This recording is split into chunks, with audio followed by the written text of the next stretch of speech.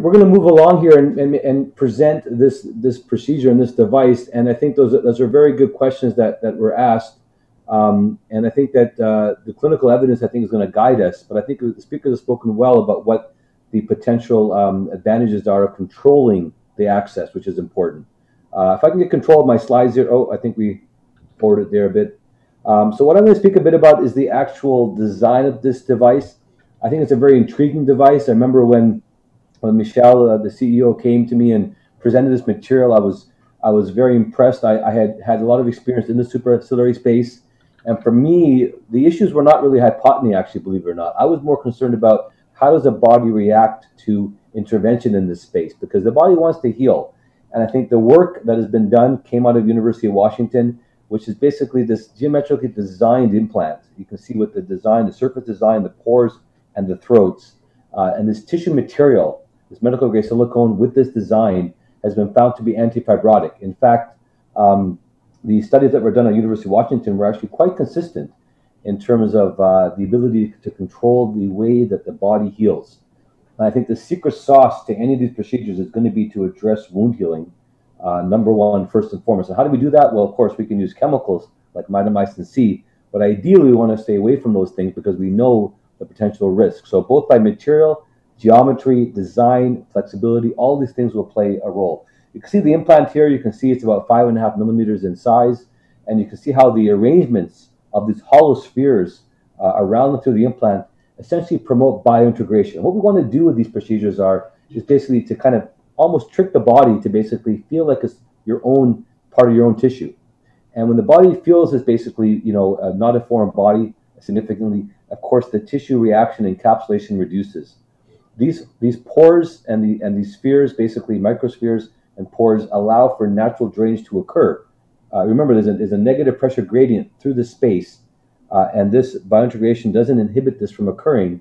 Think of it like a sponge, basically allowing the, flow to continuously occur. And it's very different than, for example, what we see for lumen designs, which have a set lumen size where fluid drains through it. This is a very novel way to think about it, uh, a very controlled outflow procedure.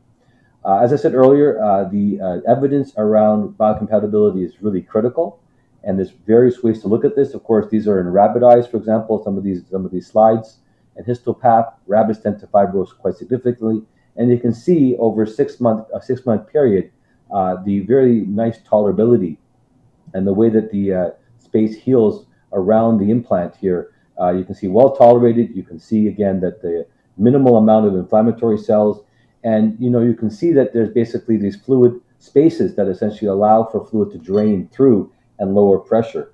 And so those are those are some of the advantages again with this material, uh, which I think is a secret uh, part of the procedure itself. So let's just play a video here. Mm. This is just showing the delivery system. Of course, material can be great, implant can be designed really well, but of course it has to be delivered properly. You can see that it's, this implant comes in a flexible sheath. Implant says five millimeters by one millimeter in size. Notice how flexible and soft it is. This is important when we think about safety as well and about the ability to, for, the, for the device to securely fit within the space. You can see the multi-channels and the matrix of pores that are present here, uh, looking at the microscopic view of it. And notice this green ring. This green ring is important because this green ring is what we use to guide implantation to ensure that the implant is placed adequately in the anterior chamber. Uh, we want to make sure that the implant only remains in the anterior chamber for 0.5 millimeters. And by lining up that green ring as it's delivered, it allows it to be properly placed. You can see the shaft is what we use to deliver. The roller wheel retracts uh, in this ergonomic design, and basically we then place the implant adequately in. Like, like anything else, of course, uh, we do need to uh, have a proper gonioscopic view. A small corneal incision is made, uh, and this can be done standalone. Um, again, just a video just to show how we basically place this, this, this flexible uh, sheath present in the anterior chamber. We use the carefully designed bevel, and believe me, we, we, we have this, we've done this procedures, and this procedure is fairly intuitive to do, as you can see. Um, and once the, once the shaft is placed adequately, the green ring is lined up, as you see there, uh, at the level of the scleral spur, as you see in the, in the drawing here. And then basically the sheath is retracted, allowing the, us to lay the implant and release the implant within that space. Uh, and again, the aqueous then immediately flows through, and this is where the implant is is designed to be placed. Uh, and let's just go to the surgical video here again, just to show Uh, what we're basically showing here is the uh, is the delivery system that's present here. Uh, the roller wheel that we use is designed to once we place the device in the space adequately, we line up the green ring, we can retract it. Notice the flexible seat that's designed here with a with a curve to allow us to access the space. Um, we can place this again through uh, a clear corneal incision adequately. And a gonial lens, of course, is, is necessary uh, for these procedures, as we do for all MIGS procedures. Visualization is really important to make sure you can see how nicely we can visualize the implant within the distal end of that sheath. Notice the uh, visible green ring, which is an important, again, landmark to use for adequate placement. Here we'll show some surgical footage. Uh, this is some of our procedures that we've done uh, as part of our trials, and we'll be hearing again from Philippe and Julian with our results. So like, like we've done with other procedures, we use the bevel to access the supraciliary space by gently pushing just posterior to the scleral spur. This disinserts uh, the ciliary body in the area of implantation, and then we gradually push the sheath forward, again in a forward motion as we access the space. Once we have placed this further forward, we notice we note the green ring.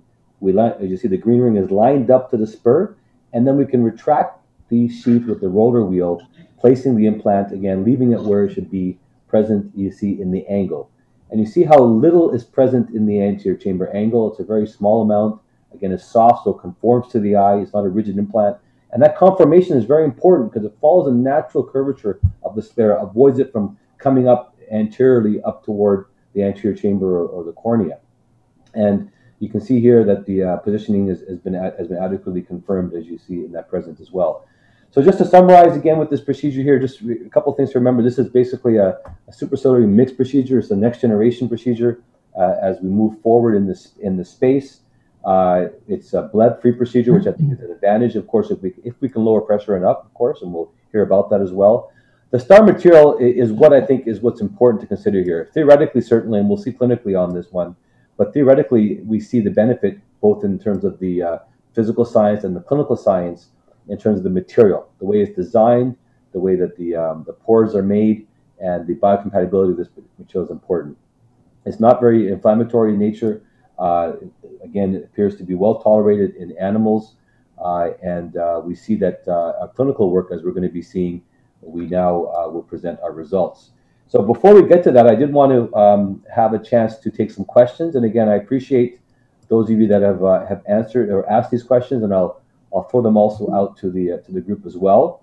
Um, and again, please feel free to write them in, in, in the bottom of the uh, of the page there of your of your web page. Um, so let's let's basically go to some questions here. And again, I'll, I'll have uh, I'll have uh, Paul, Julian, and Philippe also throw in their thoughts as well. Um, there's some questions about. There's been some other materials that have been used in the supraciliary space. Uh, for example, polyimide. Um, and do you feel this material uh, will be less likely to cause supraciliary scarring uh, that has been seen with other material. And again, the example that was given here was was more rigid polyimide. So maybe some differences with that, what we've seen with polyimide. Anybody want to throw out their thoughts on the difference in material and how it's tolerated in the space? From animal studies, uh, it has been shown that this material is very uh, biocompatible. And I think uh, the interest of this uh, material is to to inhibit fibroblast proliferation and to uh, um, to reduce the risk of encapsulation around around the implant. So I think it, it seems to be a, a good natural into brackets technique to open the uh, the supraciliary space very smoothly in a smoothly uh, uh, smoothly technique. And uh, you say that the, the, the, implant is flexible. And I think it's a, a big advantage because if you put something which is very hard to the sclera, you may induce some uh, anatomic, anatomical changes. With this flexible and very smooth uh, MIGS, I think it's better for the physiology. Yeah, I, I agree. I think besides the material itself, I think the design of the micropores is also a benefit. Uh, you know, when you, when you look at studies on even tubes, when you have adequate or significant flow right away, you, you induce more fibroblastic laydown. And so having these micro pores for a slow diffuse uh, egress of fluid or aqueous into that space has a potential for less encapsulation, as you mentioned earlier. So I think it's the soft material, the bio, biocompatible material with those micropores that prevents that significant encapsulation. And you're absolutely right. With the hardened material, the polyimide, you know, even people rubbing the eyes, there's a chance that it keeps hitting against the endothelium. So having that marker and a soft material with those micropores, I think, is really what's giving us that safety with the decreased risk of fibroblastic uh, proliferation. Think you said it. I think you both said it very well, and I think there's so many different ways to think about tolerability and safety and efficacy. They kind of related in some ways. Material, the design, the rigidity or softness, of course, are all important. The geometry of it all play a role in terms of how well it's tolerated. The hydrostatic forces that emerge from the implant, and how well they're diffused in the space.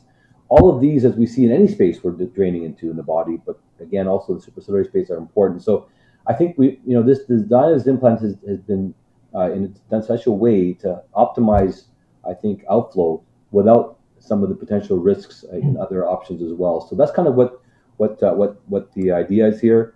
Uh, there's been a question here someone asked, and then we'll move forward. Just uh, early studies uh, suggest increased outflow with thinner and younger scleras, and less outflow with thicker and older scleras. Does this factor into patient selection? So I don't know if anybody wants to take that take that comment. Is that this, does the sclera characteristics, thickness, rigidity, age, uh, play a role in in the ability for these procedures to work in outflow? So I, I, I, can I can make make a few comments. So first of all, I think that there's a lot lot to think about when it comes to uh, sclera and the role of uveoscleral outflow. We know when we think about the uveoscleral outflow pathway that the deep scleral plexus and the and the sclera all play a role. Uh, the uveoscleral outflow is probably not as well defined as we, we, we may think it is in terms of where aqueous ends up going. Number one.